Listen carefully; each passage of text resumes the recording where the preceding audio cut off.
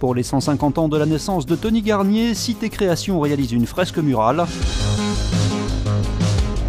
C'est un mois de réalisation, donc la fresque sera finalisée début avril et on invite euh, euh, toutes les personnes à venir découvrir nos équipes sur le chantier jusqu'à la fin de la semaine prochaine.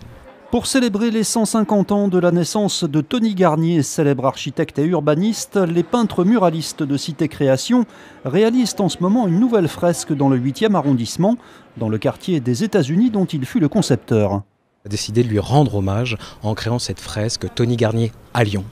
Alors pourquoi? Parce qu'il s'agit de permettre aussi aux habitants de comprendre que Tony Garnier, c'est pas que leur magnifique quartier, c'est aussi euh, plusieurs dizaines d'ouvrages réalisés dans la ville de Lyon et notamment 14 que l'on met en avant ici, où on retrouve le stade de Gerland bien sûr, mais aussi différents euh, ouvrages réalisés notamment au parc de la Tête d'Or, réalisés euh, sur la presqu'île ou différents monuments.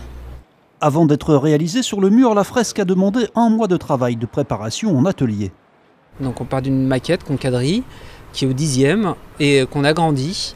Et suite à, suite à cet agrandissement, donc, on crée euh, ce qu'on appelle des poncifs. Donc les poncifs vont servir euh, à être positionnés directement sur le mur, à partir d'un quadrillage qu'on va reproduire aussi directement sur le mur. Et à partir de là, euh, nous allons avoir un premier jet de dessin. La fresque sera terminée le 2 avril.